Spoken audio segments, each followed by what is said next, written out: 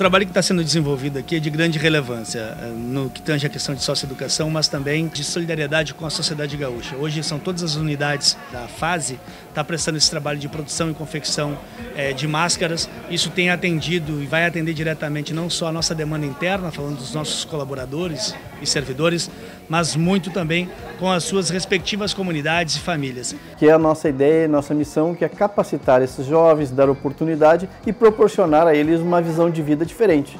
E esse projeto das máscaras vem ao nosso encontro, então proporciona humanismo, solidariedade, capacitação e ainda os gestos de proporcionar a outras pessoas a oportunidade de ter uma máscara e de prevenir essa doença que é o coronavírus. Pretendemos confeccionar durante a semana mil máscaras e no decorrer do dias, dos dias aumentar ainda mais a produção. O importante não é o número de máscaras, mas a iniciativa que tivemos juntamente com os demais funcionários e a união do grupo proporcionando então esse trabalho. Então fica aqui o reconhecimento, o agradecimento é, do governo do estado a esses jovens que estão fazendo um excelente trabalho e também o reconhecimento do trabalho prestado pela nossa fundação e todos os nossos colaboradores.